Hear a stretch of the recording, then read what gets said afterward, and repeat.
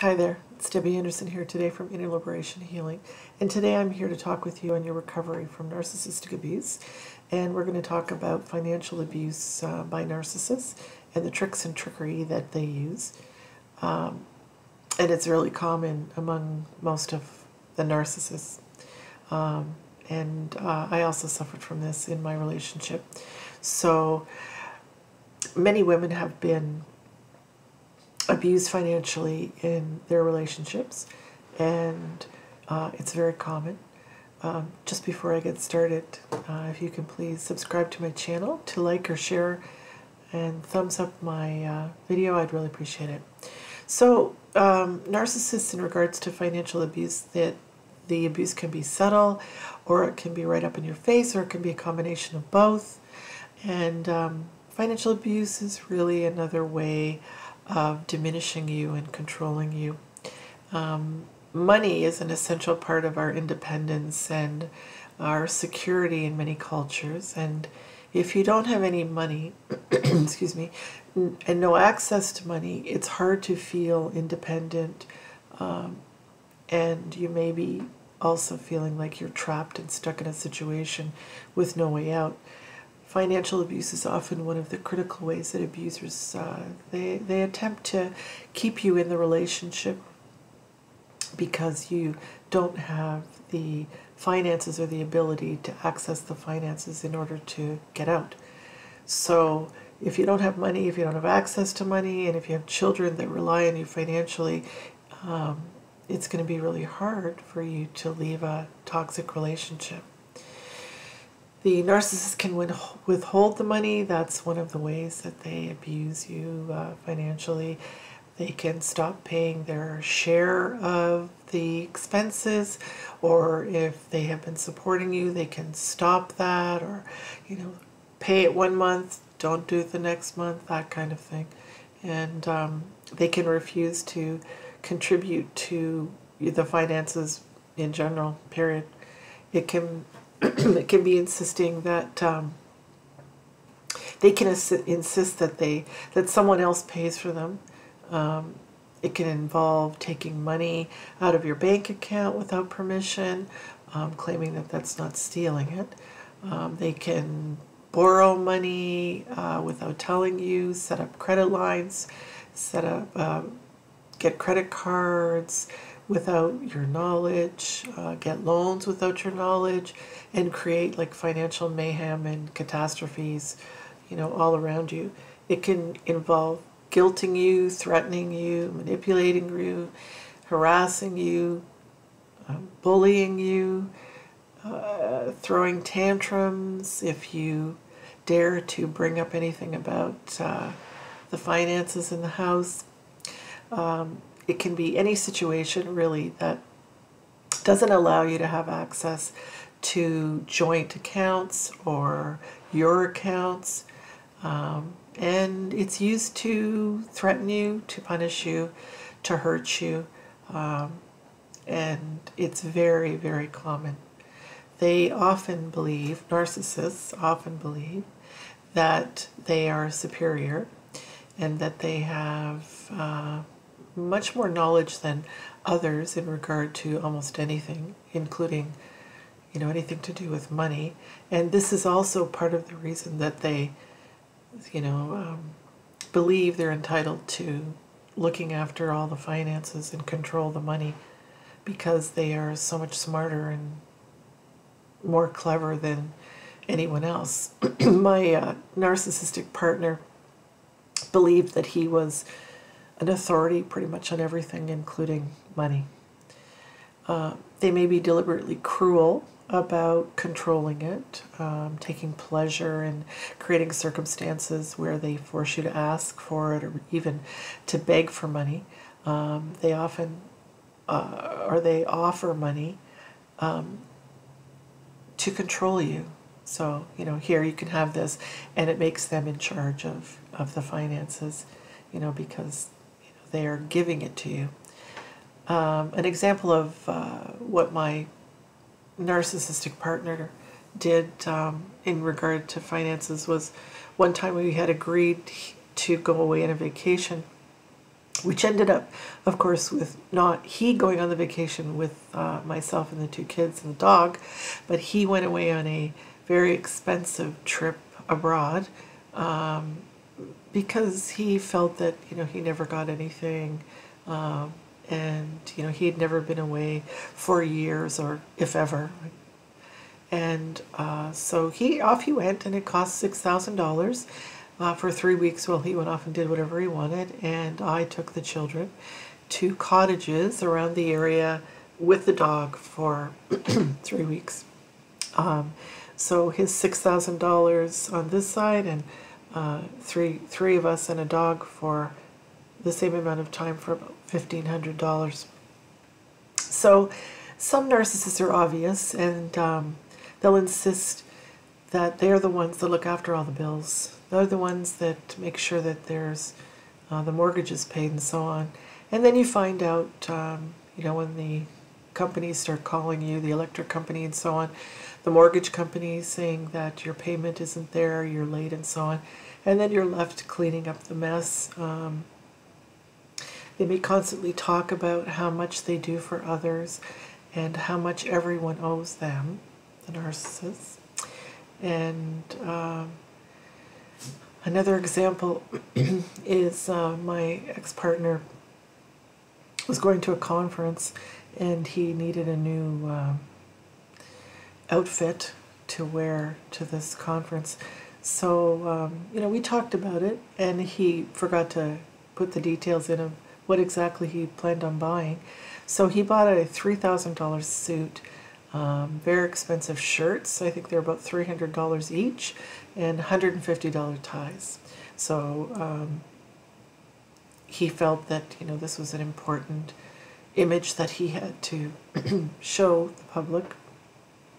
And this, of course, uh, was overspending and caused our finances for that month to be completely a mess. So um, their entitlement is uh, and his entitlement was really quite obvious in that example. And they have absolutely no um, concept or they don't care really that um, there's concern or there's a big problem or they've created a big problem. Um, they, they, they don't care. It's not even in their thinking. Um, I, you know, I just remember my partner saying, you know, he he had to look good, and that was fair enough. But I certainly didn't expect, you know, four thousand dollars worth of clothes to uh, go to a conference. Um, when you approach them about what's going on and what the problem is, whatever that is, they insist that um, they get very little, that they're often neglected, that in fact we might be neglecting them and blaming them um, and they are man- they manage to twist things around and and put the focus off themselves and what they've caused and the issue that they've caused. This is very common with narcissists for sure. Um, if you question them about their uh, behavior in terms of finances and money, the fact that they've created such a financial burden is insignificant to them and irrelevant, um, and is of course never addressed. They manage to create a big uh, argument and put the focus on something else or on you. Or, um, and it's really crazy making, that's for sure, and very common. So um, they, this is typical narcissistic behaviors and very common um, in terms of finances. They also believe, you know, that there's, uh, they have sort of magical thinking um, often when uh, when it comes to some debts and money and where the money is going to come from. They uh, think that somehow this money is going to come from from wherever. There's never an answer about where that is, but uh, that's often used as a tactic as well. Um, and certainly that's enough to make you go stark raving mad yourself. Um, so, you know, this kind of behavior is very common, and um, they they believe that you know what what's mine is mine, what's yours is mine. That's uh, for sure. If uh, you're living with this um, kind of abuse, this financial abuse from a narcissist, I'm certainly not making light of it, but I've I've been there. It's highly traumatic. It's demoralizing. You can, um, you know, you're abused, and then you're gaslighted uh, and told that what you're experiencing is not abuse, and somehow you've got everything all mixed up in your mind. Um, oh, and the same time, they're blaming you for the money issues um, as though you've caused them all, when in fact you're just trying to resolve the situation as an adult, and they're not able to do that. So, um, I remember being uh, in line in a grocery store, you know, uh, with a baby, and getting to the end of the line, putting the debit card in, and there was no money in the account to pay for it, and um, you know, I this would happen a lot. so uh, also he would um, he would make light of my position, which was a very responsible position, and you know I actually made more money than he did. However, my job was not as important as his, and um, eventually he lost his position, uh, and that was because uh, the the boss found out exactly who he was. So you kind of get the drift of what I'm telling you in terms of, you know, what financial abuse is by narcissists, and um, you know what you or you could be experiencing, and you know even after you leave the situation, you're still, you know, end up being responsible for their debts. Um, and you know try to dig yourself out of uh, the situation. You can develop uh, fears around, you know, uh, even thinking about money and feeling very, very anxious um, because of the financial abuse that you've suffered. You know, you can get a trigger, like a, even if a bill comes, that could be a trigger that causes so much panic and anxiety, even though you might have, you know, you're out of the situation and you've been able to pay uh, the bills all the way along, it's still, you know, these this trauma is left in your in your body um, until it's it's healed. So your basic sense of stability and security is often completely messed up um, to the point where you're, you know, you're on edge, and you know, it takes deep healing to actually get out of the situation and, and get away from these these feelings. So um,